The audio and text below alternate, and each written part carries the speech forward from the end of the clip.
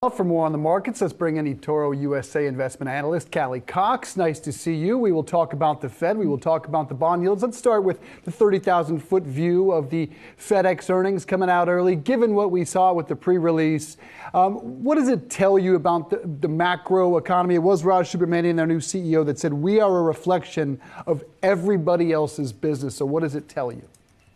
Man, he took the words right out of my mouth. I mean, I'll say it too. It's a reflection of how tough the operating environment is right now, especially with companies who have that global exposure. And obviously, FedEx has exposure to global trade and global shipments. I mean, that's one of the biggest worries for us right now. And we're generally an optimistic research team. But the fact that rates are so high, costs are so high, and there are so many changing parts, that's just not an easy environment for any company to navigate much less some of the smaller, more speculative companies that have been in favor over the past year or so. So, Callie, what does that mean then for the next couple of months? I guess how big of a slowdown do you think we are likely to see, and how will that be reflected in equities? Yeah, that's a tough question because I think the, the degree of the slowdown is something that everybody's questioning. Uh, I mean, right now, we don't see it to be so much that we hit a severe recession, but honestly, with what Jay Powell said yesterday and how hard they're going to hit have to hit that hammer to get inflation down. I mean, we could see big, a bigger slowdown than we thought. It really depends on well, a how high rates go from here, b how quickly the Fed can get inflation under control, and c how much collateral damage we'll have to see in the job market.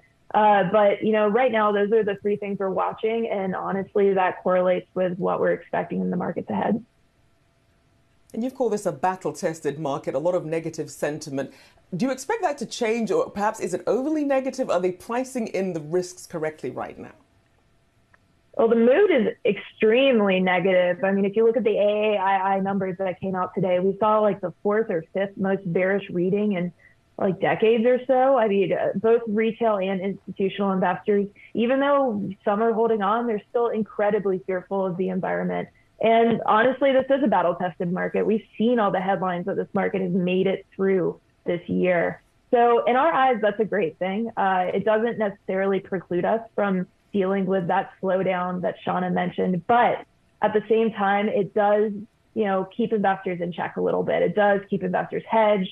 Hedged, you know, they might be on the sidelines more than they are taking risk in these markets. And that puts a bottom in the stock market. It means that if we hmm. see any better than expected headlines, and the bar is low right now, by the way, if we see any better than expected headlines, we could see investors rush in and, you know, as a result of that, see those quick relief rallies. And to the bond yields, which Rachelle mentioned off the top, in particular the two year 07 highs, tells you what about the pain to come? Well, that's a psychological thing, uh, and I think about this a lot, uh, a lot on my end. I mean, the fact that short-term rates are so high right now uh, really makes the decision difficult when you're looking at, you know, investing for the long term, the duration, if you will, investing for the long term versus picking up those rates in the short term. I mean, for so long we had such low short-term rates that it was almost a given to people to, you know, extend their risk across the curve and put their money out there and take on that risk, the TINA trade. Uh, but now it's not so obvious. Um, and, you know, we see rates moving up in savings accounts too. I mean, we get a lot of questions from our customers just about you know, the balance between stocks and cash and how you can actually make a decent rate on cash now. Callie, do you see the rising rates? Uh, do you see that trend easing at any point soon? Well, so the 10 year broke 3.5%. I was really shocked by that. that was that seemed to be a pretty strong technical level. Uh, so from here, I think it's really hard to tell. I think it's going to depend on the Fed's the Fed's pace and just exactly where they stop with rate hikes. And I want to ask you obviously, we have the, the strong dollar, you have some of these economic headwinds coming out of Europe. What, how does that mix into this stew of what we're looking at and how it might impact the US markets? Yeah, well, it just murkies the water uh, of what the Fed is trying to do here. Because obviously, while the Fed is hiking and while the U.S. is on the growth path, path it is right now, uh, the dollar is going to get stronger. And unfortunately, the, the effect of that is it crushes the euro and by extension, European growth. It almost effectively exports our inflation over to Europe. And like I mentioned at the beginning of the call, I mean, the global economy is just so interconnected these days. So you have to really watch the currencies here because we have a lot of companies with overseas markets and a lot of European exposure. So what we've been